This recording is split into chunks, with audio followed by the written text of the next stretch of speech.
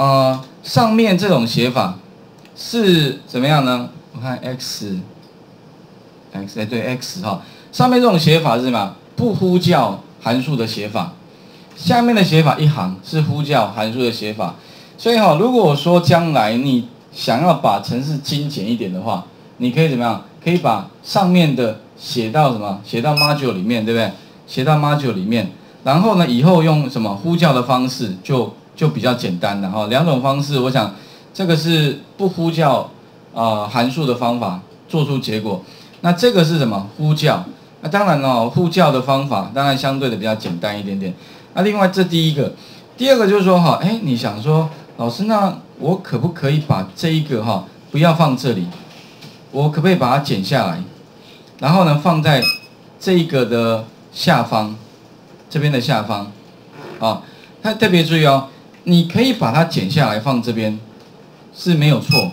那如果说你将来哈，假如说你从这边要呼叫它，OK，但是问题就是说，如果你把 module 剪过来的，对不对？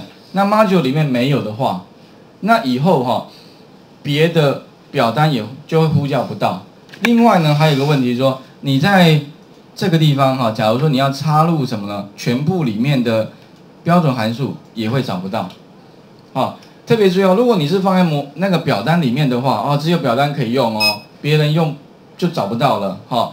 那如果说你要共用的话，也就是说呢，将来你可能会有很多只表单，那很多个表单都要存取这个模组的话，哎，那你就把它写在模组里面，OK。所以一般哈，我们城市如果是共用的话。通常会把它放在模组里面呼叫，啊，那以后如果说你要存取的话，一般就是说可以利用这种方式去呼叫。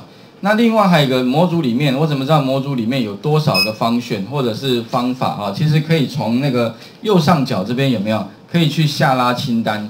那以后如果你很多要管理的话，哎，可以用这种方式来管理。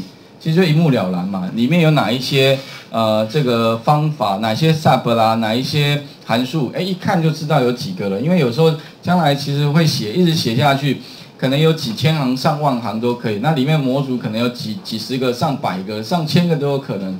那你可以用这种方式来管理，甚至你把它分类嘛，再插入一个新的模组，再放不一样的东西哈。那还有就是说呢哈，呃，如果我将来按确定之后。呃，OK，那这个地方的话呢，哈，我我我就两种方法。第一个，那刚刚第一个讲完之后的话，再来第二个哈。同学刚才有问到一个问题，说，那如果我将来启动的时候，我不可能直接按这边直，有没有？直接按这边启动，那以后 user 怎么启动？哎，你想说，你跟他讲说，哎，你打开 V 那个什么开发人员，然后进到里面，他他可能应该没有办法接受，所以你需要给他一个按钮，去把它叫出来。所以怎么启动表单？我想在那个入门课有大概提过了。你要启动它的话，特别注意啊，请你第一个在模组里面怎么样插入一个什么程序？因为你需要一个程序去启动那个啊那个表单。那名称的话，也许我们叫做呃给它一个名称吧哈，叫做启动表单好了哈。